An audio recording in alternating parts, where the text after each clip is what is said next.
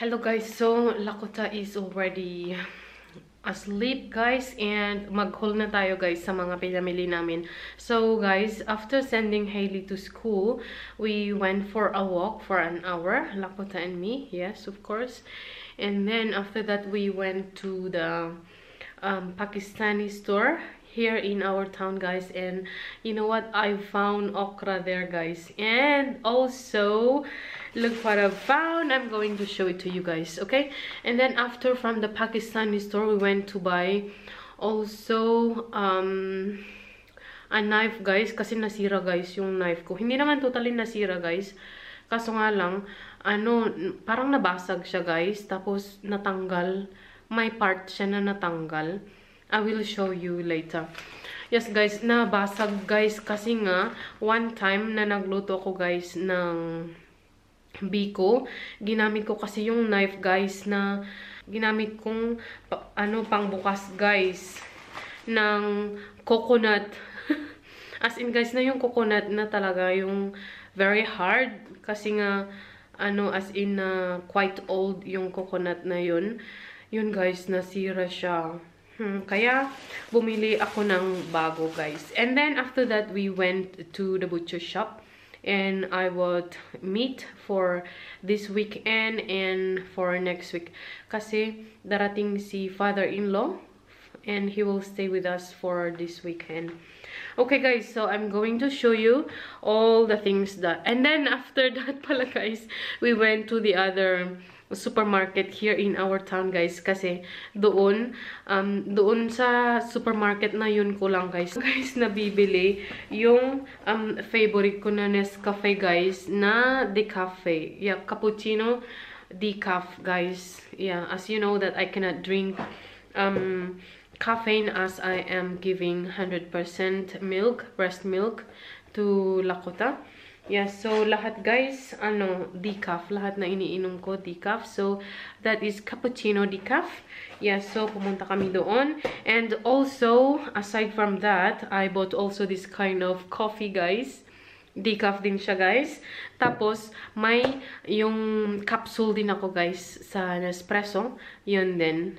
Pero hindi na ako bumili kasi I bought the other week yun ang yun lang kasi ang natira guys na iniinom ko. So sometimes gusto kong ano um, uminom ng another kind, hindi naman another kind kasi almost the same naman yung coffee, no. Pero yung cappuccino ganun um, kasi it's creamy, may bubbles, ganun guys. Bubbles ba yun?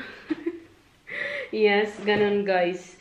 Tapos, pag madalian, ito din guys, ang iniinom ko sometimes. Yeah, so iniba-iba ko guys yung coffee ko sometimes. So, yun guys ang pinamili namin doon sa supermarket. And then, I bought also bread. Yes. Minsan-minsan lang kami bumibili ng ganyang kind of bread guys kasi ayaw ni Javi. Okay. Um, I will show you guys the the things that I bought or we bought kasi kasama ko sila ko ta that we bought to the Pakistani store. So guys, okra. Ito na guys, okra. Half kilo to guys. As in, ang mahal, 1 kilo guys is 8 euros. Imagine, 8 euros times almost 60 let's say 58 58 pesos ang 1 euro. Pero as in guys kasi nga many years na talagang hindi ako nakakain ng ganito at saka as in ang, ang hirap hanapin guys. So I bought this one. Kahit mahal na siya guys. I just close my eyes and and I bought it. Okay guys. So may nakita pa ako guys. Look at this. Yes guys Yoka ang tawag nila dito. Yoka. Yes, guys. Parang ano, guys. Ka ang tawag namin doon sa amin is kahoy. Yes, guys. This one, kasava. Kahoy ang tawag namin doon, guys, sa amin. Tapos, guys, wala kasi yung ano, ay, wala kasi. Guys, matagal na kasi na hindi ako naka, nakatikim, guys, ng, um, how do you call this?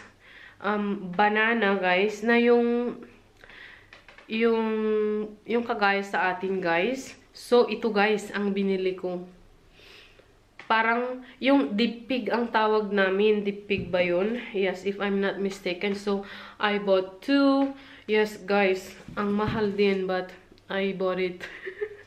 mahal din ito, guys. So, but I bought it. And um, the most exciting, guys, is aside from okra and uh, the other two, but yung talagang inaano ko, guys, is I found malunggay, guys. Dahon na dried. Na-dry siya, guys, na dahon. Yes. And I'm going to cook this one one of these days. Ano na lang, guys. This is from Senegal, guys. Yeah, product of Senegal. Yes. So, yan, guys. Malunggay. As in, uh, many, three years na din na hindi ako nakakain ng malunggay, guys. Hmm, -mm three years na guys na hindi ako nakatikim, nakakain ng malunggay. So, I found this one and uh, yeah, I bought it.